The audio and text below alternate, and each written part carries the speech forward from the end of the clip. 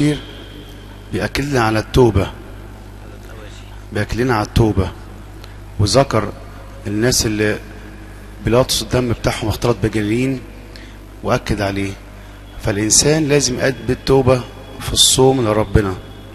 توبة واعتراف.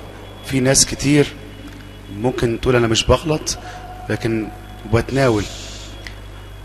فالتوبة مهمة جدا. الابن الضال هو اللي راح لأبوه واعترف. هو راح لقدم توبة. ففي حياتنا لازم نقدم توبة. طبيعي إن إحنا بنغلط وربنا عارف كده. لكن هو لك كده؟ ربنا قال هيحاسبنا إن إحنا ما تبناش. مش هيحاسبنا إن إحنا غلطنا. بيقول لك إن لم تتوبوا فجميعكم كذلك تهلكون. لو لم تتوبوا تهلكون. فلازم نقدم توبة لربنا. نخلي بالنا في حياتنا روحية نقدم لربنا صوم نقدمه صلاة ونقدم توبة. طبيعي نغلط. لكن ربنا بيشوف قلب الإنسان ونشوف سير قديسين كتير غلطوا لكن تابوا ورجعوا.